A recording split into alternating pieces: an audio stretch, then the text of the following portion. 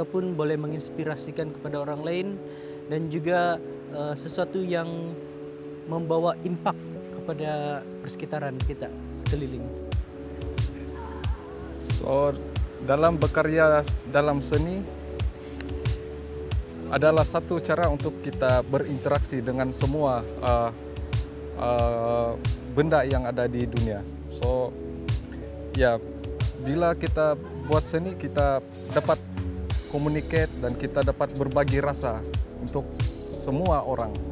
Dan kita boleh um, uh, share itu rasa. Kita boleh share the feeling uh, dengan semua orang tanpa sempadan. Ini perasaan sensuality bagi saya